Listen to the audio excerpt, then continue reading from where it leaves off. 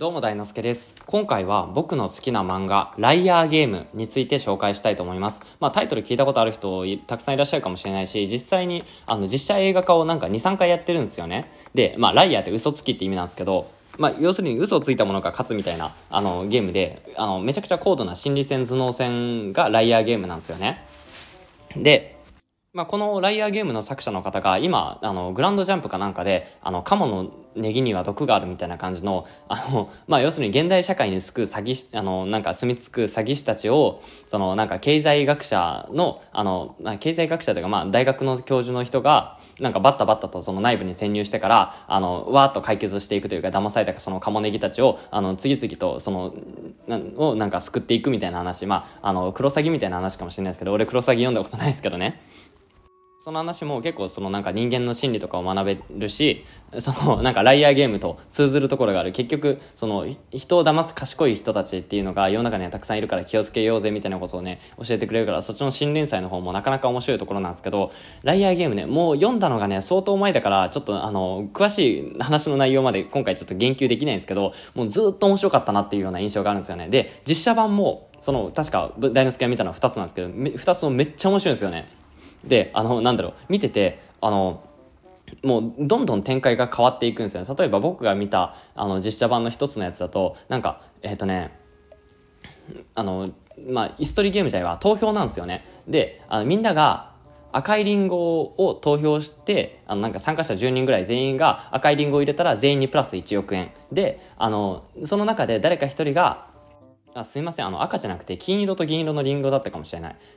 で、あの、全員が金色のリンゴを投票したら、プラス1億円だけど、あの、その中で、あの、みんなを騙して銀色のリンゴを入れた人だけ、プラス5億円か10億円か忘れたんですよね。みたいなお金がもらえる。それで、と、あの、なんか10ターンぐらいやって、あの、まあ、なんだろう、で、あの、なんか騙された人たちは、マイナス1億円みたいになるんですよね。だから周りを騙して、自分だけ5億円ゲッチュするのか、みんなと共闘して、あの、ま、ま、あの、毎ターン1億円ずつ増やしていくのか。けど、もうあの、お金に困ってる人とか、周りを信用してない人たちばっかりだから、みんなが結託して、その、プラス1億円を選ぶことはほぼないよねっていうような、鬼のような投票ゲームが、確か実写の一発目で、あれもね、あの、いや、その、結局人間って集団心理として、その、なんか、街中で、なんか困ってる人がいたとしても、誰かが助まあ、俺以外の誰かが助けてくれるだろうみたいな風になっちゃうじゃないですか。で、田舎で、周りに人がいない状況で誰か困ってる人がいたら、あの、俺しか助けるやついねえじゃんっていう風になって、人間は親切になるんですけど、あの、まあ、とか、まあ、この世の中って、あアンチコメントとかいっぱい叩くじゃないですか。現実だと、そのなんか、まあ、人目をはばかったというか、その自分の本音を隠して生きててね。ただ匿名性という仮面をつけると自分のことを特定されないから、まあ厳密に言ったらその法律沙汰とかになったら誰が喋ったかとかすぐに特定できるもんなんですけど、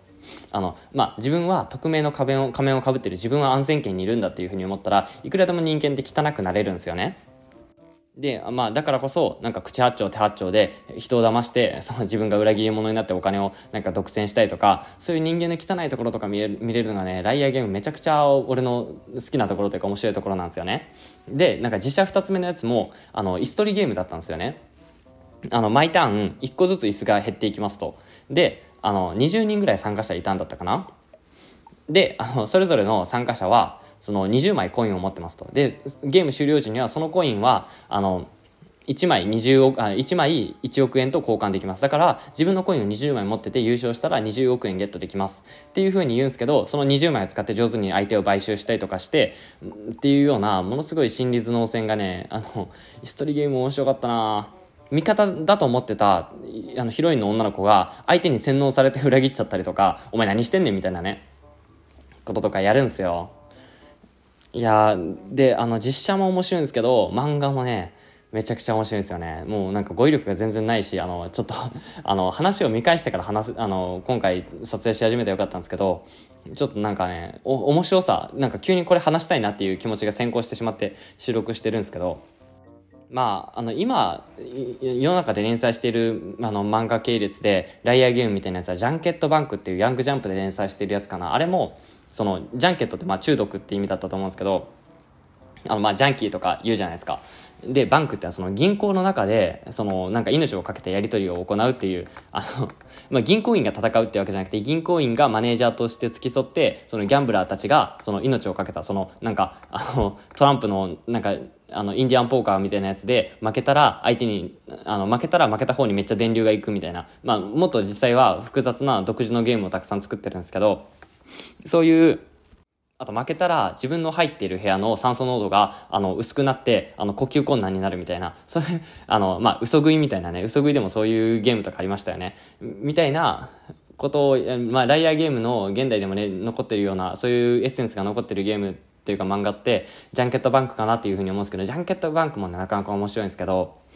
けど正直ね、ライアーゲームの方がその解説とかも結構しっかりしてくれるから、ライアーゲーム見てて面白いんですよね。というか、あの、みんな賢すぎやろっていうふうに思うんですよね。見てて。まあ、友達ゲームも結構似たようなところありますよね。うん、だから友達ゲーム好きな人からしたらライアーゲームも結構好きかもしれないですけど、その、いかに相手を油断させて、その、なんか相手の油断してるところに、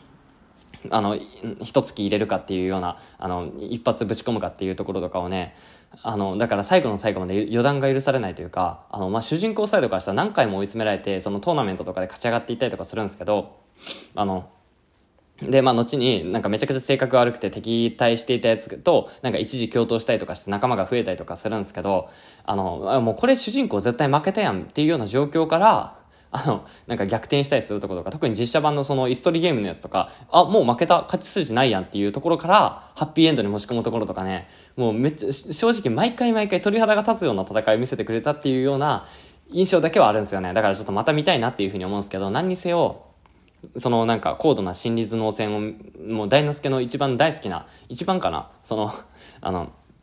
結局能力バトルものとかも面白いんですけど、その、じ、まあ、能力バトルものとかも、その、まあ、心理頭脳戦もあるじゃないですか。相手の能力が何なのかを理解して、その弱点を分析して、自分の持っているストロングポイントをどのように当てるかっていう状況を作るっていうような、頭脳心理戦プラス、その肉弾戦が加わってるのが、そのなんか能力バトルじゃないですか。だだから、その単純な、あの、心理戦もね、めちゃくちゃ面白いんですよね。相手はこういう風にするだろうとか、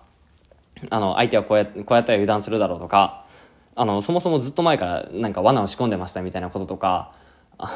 なんかそういうね、知性を感じさせるようなゲーム、そのダイナスケは知性がないので、あの、そういうことができる人たちに対して強い憧れを抱くんですよね。だから、そのなんかヒリヒリとしたスリルだったりとか、そもそもこんなことをしたら、あこそんな性善説を持ってたら騙されるよっていうような話だったりとかを教えてくれる、ものすごいいい漫画なので、そして映画なので、ぜひ実写版もと、実写版とともにライアーゲーム見ていただきたいなと。で、ライアーゲームね、最終回がね、いや、一応ハッピーエンドなんだけど、あの、あれなんかこんな終わり方っていう風に、なんかもうちょっと綺麗に終わらせられたでしょみたいな、あの、なんでしこりが残るような終わり方にするのっていうところがちょっと気になった記憶だけはあるんですけど、それはともかく、もうずっと面白いんで、あの、ま、原作の漫画の方も、実写映画化の方もね、まあ、原作がめちゃくちゃ面白いからこそ、実写映画化を2度もしてるんだと思うんですけど、皆さんもぜひライアーゲーム、あの、視聴してみていただきたいなと、読んでみていただきたいなというふうに思います。どのキャラが好きとか、どの戦いが好きとかあれば、ぜひコメント欄で教えてください。あの、また読み返したいなっていうふうに思うんで、ということで今回は以上。